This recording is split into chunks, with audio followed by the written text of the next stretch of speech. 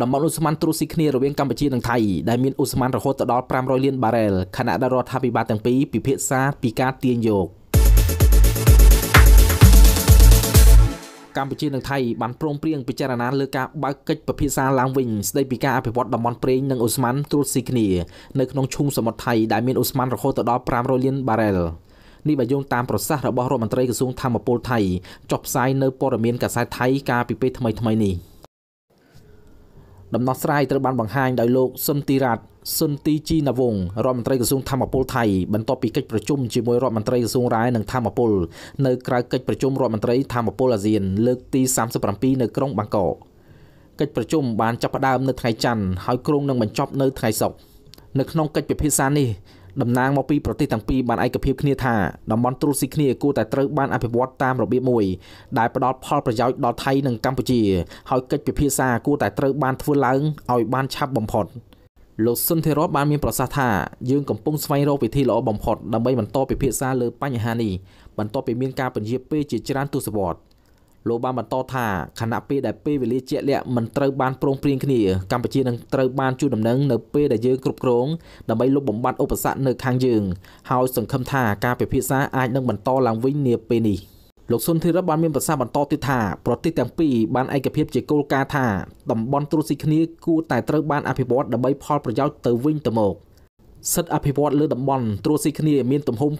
26000គីឡូម៉ែត្រការ៉េរវាងកម្ពុជានិងថៃនិងជាតំបន់ចំនួនដែលភាគីទាំងពីរបានទាមទាររៀងៗខ្លួនតាំងពីដើមទសវត្សរ៍ឆ្នាំ1970អនុសារណៈយោគយល់គ្នាដើម្បីរុករករួមគ្នាក្នុងតំបន់ត្រូវបានចុះហត្ថលេខាកាលពីឆ្នាំ2001តែក្រោយមករដ្ឋាភិបាលថៃបានទុកចោលនៅឆ្នាំ2009តំបន់អះអាងត្រួតស៊ីគ្នាត្រូវបានប៉ាន់ប្រមាណថាមានប្រេងអូស្មန်500លានបារ៉ែលនៅក្រោមបាតសមុទ្រ លោកជីបស៊ូអ្នកនាំពីក្រសួងរាយនឹងធម្មពលបានប្រាប់កាសែតអន្តរជាតិមួយថាតាមលទ្ធផលកិច្ចប្រជុំនៅទីក្រុងបាងកកកាលពីថ្ងៃទី6ខែកញ្ញាកន្លងទៅនេះកម្ពុជានិងថៃបានឯកភាពគ្នាបន្តពិភាក្សាឡើងវិញពីគម្រោងអភិវឌ្ឍធម្មពលនៅតំបន់ដែលអះអាងថាត្រួតស៊ីគ្នាដែលបានពន្យាពេលជាយូរណាស់មកហើយលោកបានបន្តទៀតថាក្នុងនាមជាប្រទេសមានសេដ្ឋកិច្ចរីកចម្រើនយ៉ាងឆាប់រហ័ស ទាំងថៃនិងកម្ពុជាត្រូវការប្រភពប្រេងនិងឧស្ម័នបន្ថែមទៀតដើម្បីឆ្លើយតបទៅនឹងតម្រូវការធម្មពលក្នុងស្រុកដែលកំពុងកើនឡើងលោករដ្ឋមន្ត្រីបានលើកឡើងផងដែរថាលោកសង្ឃឹមថាថៃនិងកម្ពុជាអាចធ្វើកិច្ចព្រមព្រៀងដែលស្រដៀងគ្នាទៅនឹងតំបន់អភិវឌ្ឍរួមគ្នាម៉ាឡេស៊ីនិងថៃដែលអនុញ្ញាតឲ្យប្រទេសនីមួយៗទាមទារ50%នៃទិន្នផលឧស្ម័នសរុបរបស់តំបន់នេះលោកសុនធិរ៉ាត់បានលើកឡើងផងដែរថា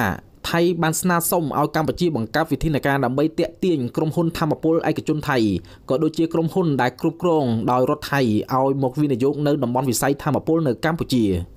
លោករដ្ឋមន្ត្រីបានឲ្យដឹងទៀតថាថៃបានផ្ដល់ការលក់អគ្គិសនីមួយចំនួនដល់កម្ពុជាដែលនៅមិនអាចផលិតធម្មពលអគ្គិសនីបានគ្រប់គ្រាន់ដើម្បីឆ្លើយតបទៅនឹងតម្រូវការក្នុងស្រុករបស់ខ្លួន។ លោកសុនធិរ៉ាតបានមានប្រសាសន៍ថាអាញាធរអគិសនីថៃនឹងព្យាយាមចុះកិច្ចព្រមព្រៀងជាមួយនឹងកម្ពុជានាពេលអនាគតដ៏ខ្លីខាងមុខ។